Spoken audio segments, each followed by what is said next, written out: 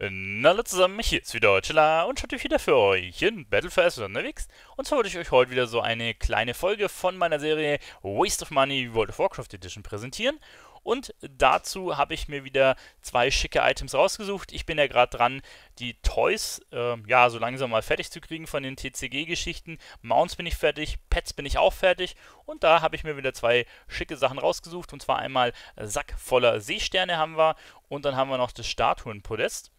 Und die beiden, ähm, ja, habe ich gerade gesehen, dass hier das eine sogar nicht mehr sehengebunden ist. Also das könnte man im AHA verkaufen, werde ich natürlich nicht, weil ich sie selber lernen möchte. Und wenn wir jetzt mal reingucken, das sind alle Toys, die mir noch fehlen. Ich habe 615 von 621 Toys, die ich jetzt maximal holen kann. Und ja, ihr fragt euch sicher, was hast du jetzt für die Dinge gezahlt? Auch die habe ich mir wieder beim Card Market geholt. Das ist so eine Seite, wo man sich quasi ja, einfach ein paar TCG-Sachen kaufen kann, unter anderem nicht nur TCG, sondern auch viele andere Geschichten. Und jetzt bin ich gerade überlegen, ich kann euch das auch mal kurz einblenden, den Card Market. Schauen wir mal. Ah ja, da haben wir es. Dann können wir zum Beispiel hier Karten raussuchen. Ja, hier seht ihr zum Beispiel Magic Rooster Egg, den Feldrake, den Ghost Charger und so weiter. Also da kann man alle möglichen Karten holen. Ich habe das jetzt mal preislich hier geordnet. Und dann gibt es natürlich auch Toys und dann gibt es auch einige, die doch ein gutes Stück günstiger sind. Dann kann man sich auch Pets kaufen für ein paar Euro hier, 7,50 Euro für das Auge der Legion und solche Geschichten. Kann man alles machen. Die habe ich aber zum Glück alle schon und bin jetzt so ein bisschen an den Toys dran. Was haben mich die beiden Toys gekostet? Ich habe gezahlt für den Statuengenerator 60 Euro und für den Sack voller Seesterne waren es 40 Euro. Also zusammen habe ich 100 Tacken gezahlt. Ich glaube, das war ein bisschen mehr, als ich ursprünglich hier in der Liste drin hatte. Was hatten wir hier drin? Ähm, bap, bap, bap, bap, bap. Hier, ähm, genau, Swings Ding hatten wir 39. Und ähm, dann den Statuengenerator. Ja, gut. Äh, ein paar Euro habe ich mehr gezahlt, aber das schwankt halt leider immer und man muss halt dann zuschlagen, ne? wenn man äh, das Zeug haben will oder wenn es halt günstig ist. Jetzt war ich ein bisschen teurer, als ich quasi das, äh, ja, wo ich mir das Ganze hier erstellt habe. Das ist auch schon ein halbes Jahr her, wo ich da mal die Preise geguckt habe. Gut, die können wir jetzt einmal löschen hauen wir, ähm, achso, Zeile löschen. Ich habe ich hab ja dazugelernt zum letzten Mal, wo ich hier, oder vorletztes Mal war das sogar, wo ich hier versehentlich meine halbe Tabelle zerstört habe, genau, und hier wollten wir auch noch, wahrscheinlich muss ich es gar nicht markieren, wir machen es jetzt aber trotzdem, weil ich es kann, und dann wären es auch schon weniger Toys, und die tragen wir jetzt unten einmal ein, und zwar ähm, haben wir, das haben wir leider nicht, ist hier das Seestern-Ding hatten wir und da hatten wir gesagt 40 Euro und dann beim Statuengenerator, der hier ganz unten ist, da hatten wir gesagt 60 Euro. Dann sind wir jetzt bei den Toys, habe ich jetzt insgesamt 800 Euro tatsächlich für Toys ausgegeben, aber wie gesagt, das meiste war der BlizzCon 2007 Murloc Suit. Der war relativ teuer an der Stelle. Genau, so, Tabelle haben wir soweit eingetragen.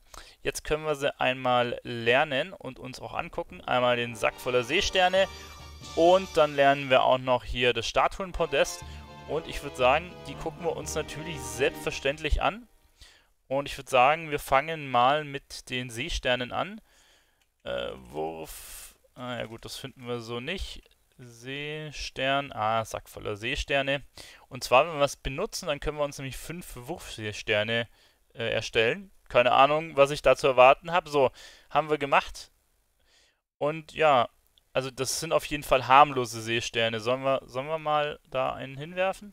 Okay, also das kann man dem einfach zuwerfen und der hat jetzt quasi einen Buff. Ich weiß jetzt nicht, wahrscheinlich hat er sie auch im Inventar und kann sie zurückwerfen. Aber das werden wir jetzt leider nicht rausfinden. Außer der Typ versucht es. Aber ich, ich weiß es nicht. Also es gibt so Items, die man werfen kann, die der andere dann wieder zurückwerfen kann. Oder man wirft sie einfach nur. Ehrlich gesagt äh, kann ich da jetzt nicht so ganz erkennen, was das ist. Aber es, es sind anscheinend Seesterne.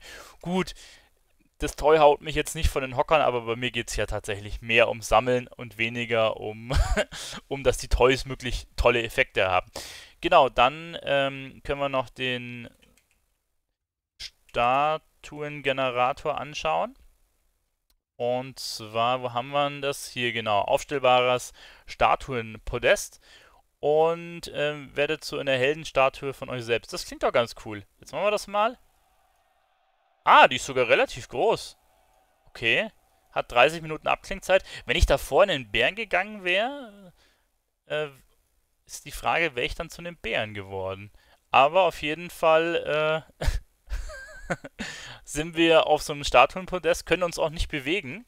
Also es geht nicht. Und wir sind auch ein bisschen größer, als wir davor waren. Also man sieht uns auf jeden Fall. Ne? Also wenn ihr jetzt seht, da ist die Wache von der Größe her, wir sind doch nochmal ein gutes Stück größer geworden. Nicht nur mit dem Podest, dass wir erhöht sind, sondern auch nochmal ein Stück höher. Gut, dann können wir auch nochmal hier ähm, die Toys uns einmal abscannen. Und zwar habe ich ja hier Simple Armory.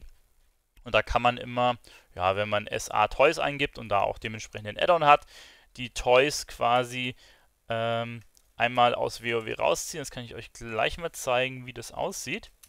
Und zwar so, dann nimmt er nämlich alle ja, IDs von den kompletten Toys, also die Item-ID, und die tut man da oben Update. Achso, da habe ich jetzt vorhin schon ein Update gemacht. Das muss ich das wahrscheinlich alles raus. Können wir das größer machen? Ah, schau mal an, das geht. So, posten das neue rein. Und dann sehen wir quasi, was wir noch brauchen.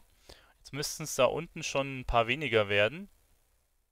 Was da jetzt noch fehlt, sind diese Portale. Die sind relativ teuer tatsächlich. Ogerdol, Full Gold, das Feuerwerk und dieser Anbindepfosten. Und das sehen wir auch in Game. Es sind jetzt hier noch äh, vier Stück, und zwar diese Anbindepfosten, das Katzengold, diese Ogergötze und das Feuerwerk.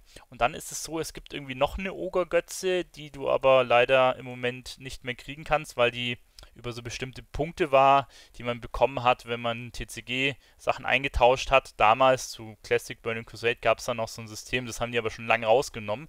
Hatte ich im letzten, letzten Teil auch schon mal ein bisschen was zu angesprochen und ja, an das Zeug kommst du gar nicht bis, ja, da kommst du leider nicht mehr ran, weil es das, weil es das System halt leider nicht gibt. Und ähm, die lila Rakete ist leider auch eins von diesen Dingern. Also mal gucken, was sich da noch entwickeln wird. Die anderen sollten jetzt aber nicht so das Problem werden. Und die Portale, die werden halt ein bisschen teuer, die sind halt hidden. Da gibt es einen so einen Ruhestein, ähm, der so ausschaut wie das schwarze ähm, Portal. Also ja, da wird bestimmt äh, das ein oder andere Gold für draufgehen oder das ein oder andere Echtgeld. Aber der sieht sehr, sehr cool aus. Und mal gucken, wann ich mir den holen kann. Gut, dann sind wir mit der Folge auch schon wieder am Ende angelangt. Hat mich gefreut, dass ihr dabei wart. Und ja, schreibt mir gerne eure Gedanken in die Kommentare. Eutela, bis zum nächsten Mal. Ciao.